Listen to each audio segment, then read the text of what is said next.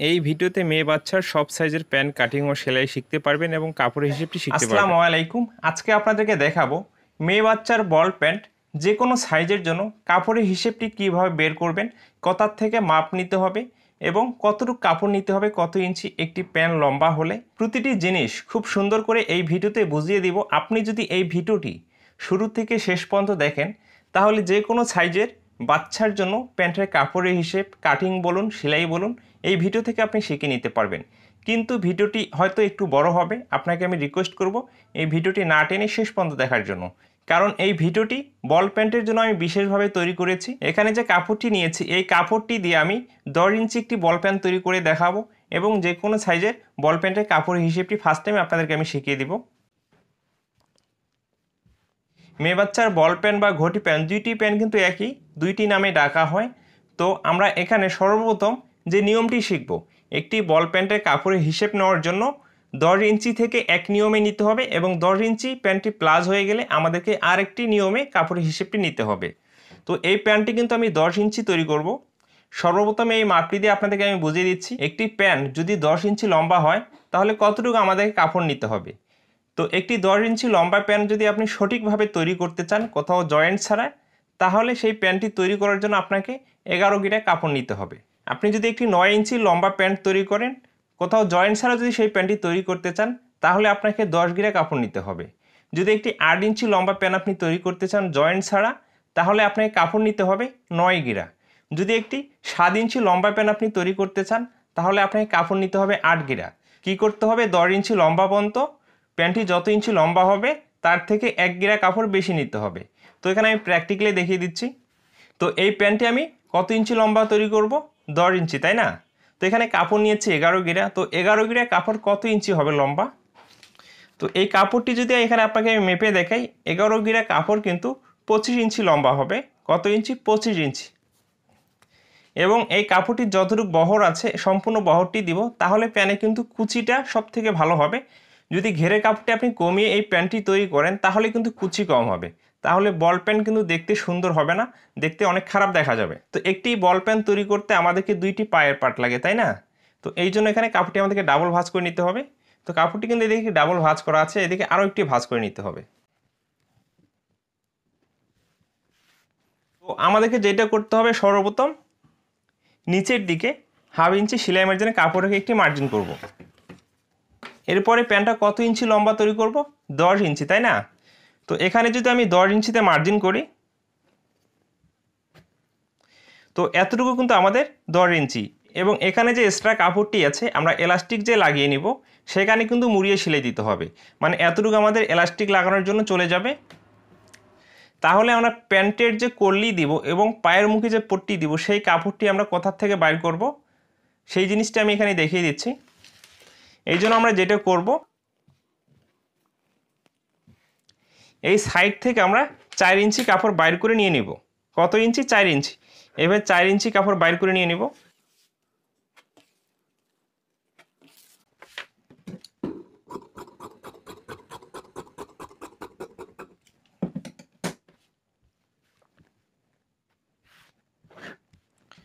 তো এখানে যে কাপড়টি আছে, লম্বাতে কিন্তু আমাদের কাপড়টি শেষ।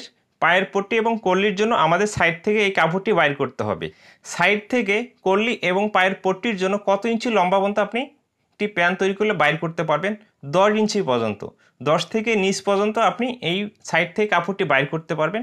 যখনই প্যান্টটি দশ ইঞ্চি লম্বা পার হয়ে যাবে, তখন কিন্তু আমরা সাইড থেকে এই কাপড়টি বাইর করতে পারব না। করলে কুচি অনেক কম হবে এবং প্যান্টটি তৈরি করার পরে খারাপ দেখা যাবে। মূলত যে বল প্যান্ট, বল প্যান্টে যদি আপনি কুচি পর্যাপ্ত পরিমাণ দিতে না পারেন, তাহলে কিন্তু বল প্যান্টের সৌন্দর্য আসে না। তাহলে আমরা একটি প্যান্ট দশ ইঞ্চি লম্বা পার হয়ে গেলে কীভাবে কাপড়ের হিসেবটি নিব, সেটাও আমি বুঝিয়ে দিচ্ছি।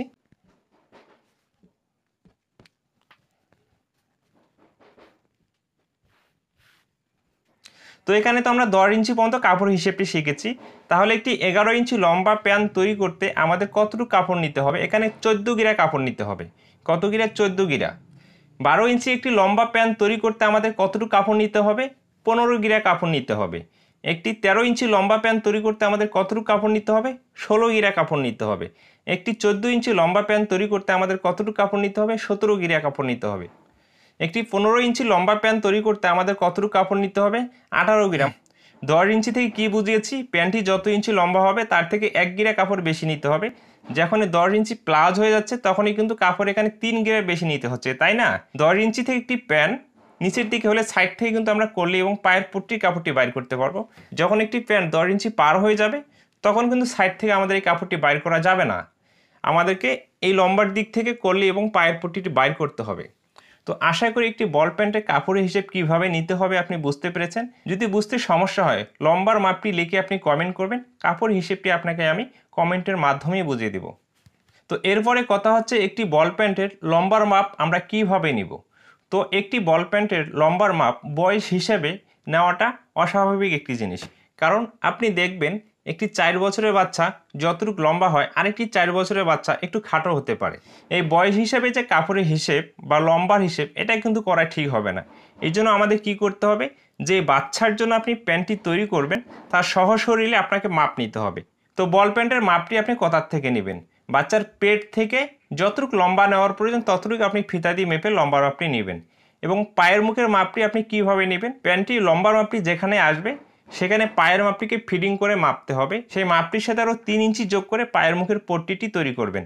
আশা করি তাহলে পায়ের মুখের পট্টি নিয়ে কোনো সমস্যা ফেস করতে হবে না এবং যে লম্বার মাপটি আছে সেই মাপটি নিয়েও আপনাকে কোনো সমস্যা ফেস করতে হবে না। আশা করি বিষয়গুলো আপনি বুঝতে পেরেছেন। তো একটি বল পেন কাটিং ও সেলাই কীভাবে সহজ নিয়মে করতে হবে আমি দেখিয়ে দিচ্ছি। এই ভিডিওটি হয়তো আপনাকে বিরক্ত লাগতে পারে। আশা করি এই ভিডিও থেকে আপনি অবশ্যই ভালো কিছু শিখতে পারবেন। তাহলে এই কাপড়টিকে আমরা এদিকে একটি ভাজ করব। করে দেখুন, ঠিক মাঝখানে এখানে কাটিংটি করে নিয়ে নিচ্ছি।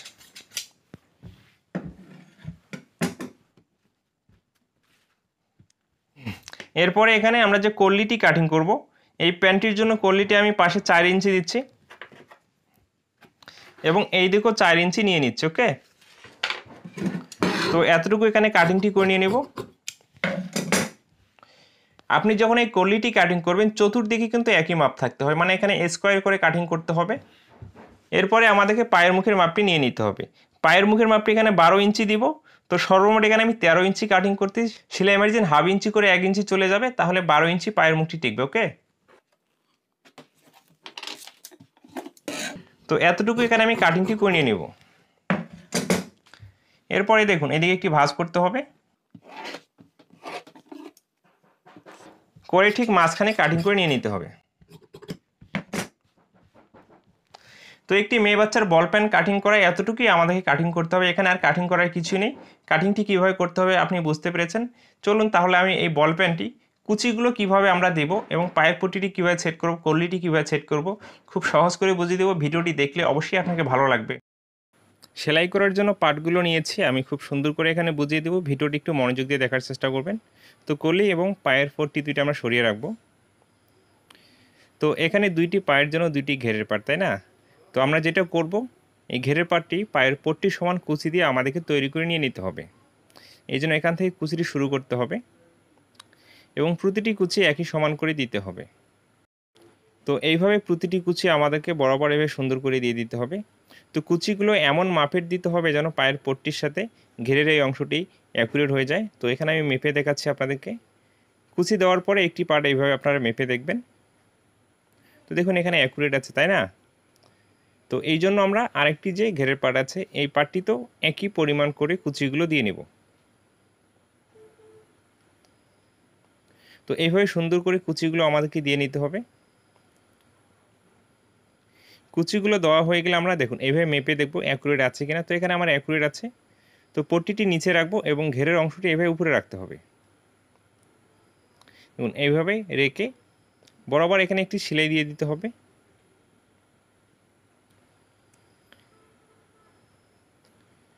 তো এইভাবে একটি পার্টে পায়ের পট্টিটি অ্যাটাচ করা হয়ে গেলে একই নিয়মে এই পায়ের পাটটি তো আমরা পট্টিটি অ্যাটাচ করে নিয়ে নেব একটি সেলাই দিয়ে।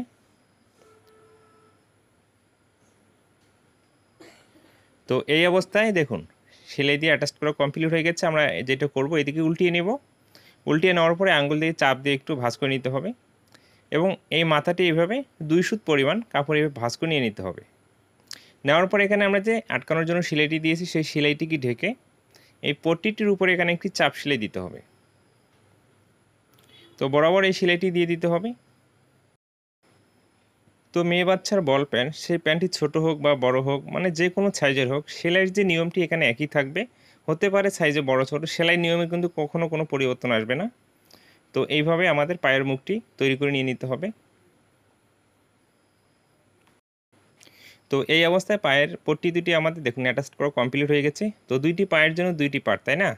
তো এখানে আমরা এখন যেটা করব, কল্লিটি নিয়ে নিব। তো দেখুন, এখানে যে পট্টিটি যেখান থেকে লাগিয়ে নিয়েছি, তার নিচ থেকে কিন্তু আমাদের কল্লিটি এখানে লাগিয়ে নিতে হবে। তো এতটুকু আমরা এভাবে বসিয়ে রেখে বরাবর এখানে একটি সেলাই দিয়ে নেব। তো কল্লিটি যতটুকু আছে, ততটুকু আমাদেরকে এভাবে সেলাই দিয়ে অ্যাটাচ করতে হবে। এবং কল্লিটির উপর দিয়ে এখানে আমাদেরকে চাপ সেলাইটি দিয়ে দিতে হবে। তো দেখুন, এতটুকু হয়ে গেলে আমরা এই পার্টটিকে এইভাবে রাখব সমান করে এবং এই পার্টটি আমরা নিয়ে নেব। তো উল্টো সাইডটা এখানে উপরের দিকে রাখতে হবে এই পার্টটির তো এখানে কিন্তু একই নিয়মে ধরতে হবে। যে আমরা পায়ের নিচে যে পটিটি লাগিয়ে নিচ্ছি সেই পটির নিচ থেকে কল্লিটি বসিয়ে এভাবে বরাবর সেলাইটি দিয়ে আমরা দিয়ে নেব। তো এখানে আসলে দেখুন, এইভাবে ঘুরিয়ে নিতে হবে। তো এখানে এই সেলাইটি দিতে যে অনেকজন ঘোষ লাগিয়ে ফেলেন যদি আপনি এই নিয়মে ঘুরিয়ে সেলাইটি করেন, তাহলে এখানে ঘোষ লাগবে না? তো কল্লির এখানে একটু কেটে নিতে হবে। উল্টিয়ে নেওয়ার পরে চাপ সেলাইটি দেব, যেন এখানে ভালো ফিনিশিং আসে। তো এমনভাবে কেটে নেবেন, সেলাইটি যেন কাটা না যায়। এরপরে উল্টিয়ে নিয়ে এখানে আমাদেরকে চাপ সেলাইটি দিয়ে নিতে হবে। তো অবশ্যই কিন্তু বরাবরে চাপ সেলাইটি কল্লির উপর দিয়ে আমাদেরকে দিয়ে দিতে হবে। তো এতটুকু সেলাই হওয়ার পরে আমরা এখন যেটা করব, তো দেখুন এরকম হয়ে যাবে। আমরা যেটা করব, এখানে দুইটি পায়ের মুখ, তাই না? তো একটি পায়ের মুখ এভাবে ভাঁজ করে নেব। এভাবে মুখটি মিল করে নিয়ে এখান থেকে আমাদেরকে সেলাইটি ধরতে হবে। তো দেখুন এতটুকু আমাদেরকে এদিকে ঘুরিয়ে সেলাইটি দিতে হবে। কলিটি এখানে যতটুকু আছে ততটুকু পর্যন্ত সেলাইটি করতে হবে।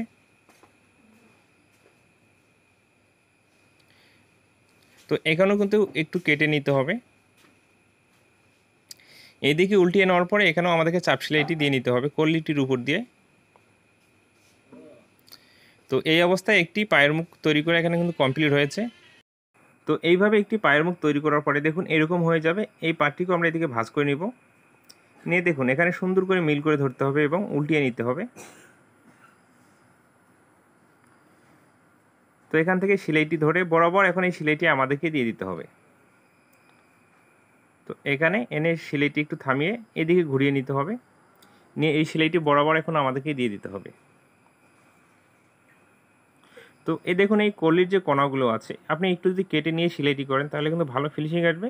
আর যদি আপনি এতটুকু কেটে সেলাইটি না করেন মানে চাপ সেলাইটি না দেন, তাহলে এখানে কিন্তু একটু ঘোষ লাগার সম্ভাবনা থাকবে। তো এই জন্য কিন্তু আমি কেটে কেটে দেখিয়ে দিচ্ছি আপনাদেরকে।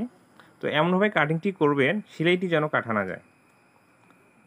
তো এইভাবে বরাবর এই চাপ সেলাইটি আমাদেরকে দিয়ে নিতে হবে। তো দেখুন, কত সহজেই কিন্তু এখানে করলেই আমাদের সেট করা হয়ে গেছে, তাই না? এরপরে আমাদেরকে যেটা করতে হবে দেখুন, এখানে কিন্তু প্যান্টটি এক ধরনের কমপ্লিট হয়ে গেছে। এরপরে এলাস্টিক লাগানোর জন্য এখানে আমাদের ঘাট তৈরি করতে হবে। তো এই জন্য আমরা যেটা করব, যতটুকু আমরা ভাঙার জন্য মার্জিন রেখেছি, ততটুকু কাপড় এইভাবে ভাঁজ করে নিতে হবে। ফার্স্ট টাইমে একটি ভাঁজ দিতে হবে, এরপরে আরেকটি ভাঁজ দিতে হবে। এবং এখানে হাফ ইঞ্চি দেখুন, ফাঁকা রাখতে হবে এলাস্টিকটি লাগানোর জন্য। তো যখন আপনি একটি বল প্যান্ট তৈরি করেন মেয়ে বাচ্চার জন্য আমরা সালোয়ারে যে চ্যাপটা এলাস্টিকটি লাগিয়ে থাকি, সেই চ্যাপটা এলাস্টিকটি কিন্তু বল প্যান্টে লাগানো যাবে না। এখানে আমাদেরকে চিকন এলাস্টিক লাগিয়ে নিতে হবে। তো দেখুন, এতটুকু সেলাই হয়ে গেলে ঠিক মাঝখানে এখানে আরেকটি সেলাই দিতে হবে। তো দেখুন, এখানেও কিন্তু আমাদেরকে হাফ ইঞ্চি ফাঁকা রাখতে হবে এবং একেবারে মাথা দিয়ে এখানে একটি আপনি সেলাই দিতে পারেন। এটা হচ্ছে অপশনাল। আপনার যদি মন চাই দিতে পারেন, না দিলেও কোনো সমস্যা নেই। তো এইভাবে ঘাটের এখানে সুতোগুলো আমাদের কাটিং করিয়ে নিতে হবে। এরপর এখানে এলাস্টিক লাগিয়ে নিতে হবে।